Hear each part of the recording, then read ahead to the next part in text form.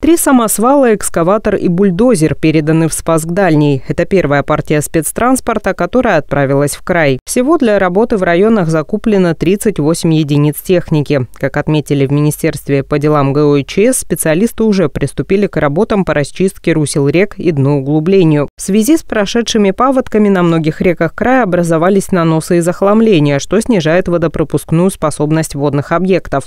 Это может привести к очередным наводнениям, поэтому правительство правительство края закупило ряд специализированной техники для расчистки рек. Управлять техникой будут краевые спасатели, которые прошли соответствующее обучение. Расчистка русел рек будет выполняться в зимний период, когда происходит спад воды. Завершить эту деятельность планируется до 31 марта 2024 года.